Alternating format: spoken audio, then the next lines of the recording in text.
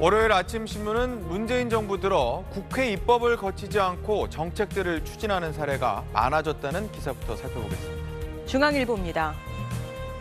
시행령, 훈령 전 정치란 제목이 달렸는데요.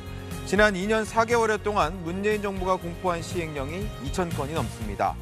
사립 유치원에 에듀파인을 강제하기 위해 정부는 사학기관 재무회계 시행령을 공포했고 검찰개혁을 이루겠다며 형사사건 공개 금지 훈령을 만들었습니다. 최근에는 국민의 기본권을 크게 제한하는 규제들도 국회를 거치지 않고 바로 도입하고 있습니다. 국회가 제 기능을 못한다면서 정부가 입법 절차를 우회해 시행령을 주요 정책 수단으로 사용하고 있는 겁니다. 하지만 이로 인해 상위법과 모순이 되거나 아예 법률에 근거가 없는 시행령이 늘어날 수도 있다는데요. 법치주의 체계가 흔들릴 수도 있다고 신문은 지적했습니다. 대기업에 들어간 서울대 공대 최우수 졸업생이 고객 서비스 센터를 선택했다는 매일경제 기사입니다. 일반적으로 대기업 연구개발 부서 등에 지원하는 것과 대비되는데요. 이 졸업생은 연구에 그다지 흥미를 느끼지 못했고 앞으로 해외 업무를 하고 싶어 신중하게 선택한 것으로 알려졌습니다. 이렇게 20, 30대 밀레니얼 직장인은 출세보다는 자신의 미래를 위해 직장을 선택하고 있었는데요. 밀레니얼 직장인 1,500명에게 물어봤더니 직장이란 나의 성장을 도모하는 곳, 월급은 생계와 노후 대비 수단이라고 답했습니다. 회사 동료와는 일을 같이 할 뿐 친분 쌓기엔 선을 그었는데요. 창업 도전 대신 재테크를 하며 안정적인 삶을 선호하는 것으로 나타났다고 덧붙였습니다.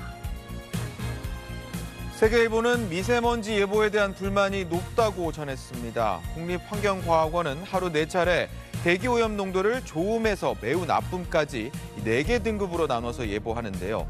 그런데 날짜를 기준으로 일평균 값을 예보하다 보니 실제 이용자에게 필요한 정보를 제때 제공하지 못할 때가 있다고요.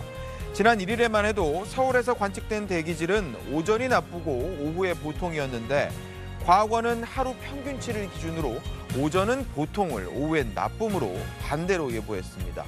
시민들이 궁금한 건 앞으로 먼지 농도가 짙어질지 옅어질지이지 일평균 농도는 아니죠.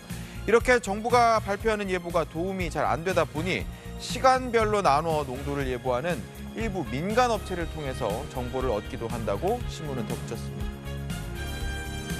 끝으로 동아일보입니다. 채식주의자를 뜻하는 비건이 또 하나의 문화가 됐다는 제목의 기사입니다. 한국채식연합이 추산한 국내 채식 인구는 약 150만 명. 특히 환경에 관심이 많은 밀레니얼 세대가 주축을 이루고 있는데요. 동호회를 조직하고 앱을 만들어 채식 정보를 공유하고 일부 대학에는 비건 식당까지 들어섰습니다.